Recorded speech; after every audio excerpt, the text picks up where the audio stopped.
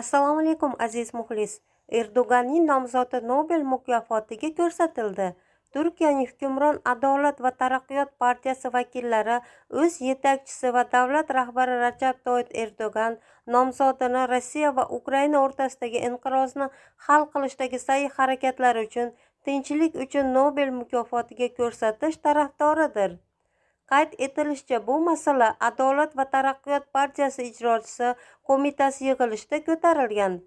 Prezidentimiz tinchlik uchun nobel mukofotiga muhtoj emas lekin bir vaqtlar bu mukofot aqshning sobiq prezidenti barak obamaga berilgan bo'lsa erdo'g'anning ham ukrainada tinchlikni ta'minlash doirasidagi sa'y harakatlari uchun nobel mukofoti unga berilishi kerak degan turkiyaning hukmron partiyasi ijrochisi qo'mitasi a'zosi sunay karamak turkiya tashqi ishlar vaziri mavlud chavashog'lu erdo'g'anga nobel mukofoti berish tashabbusini qo'llab quvvatladi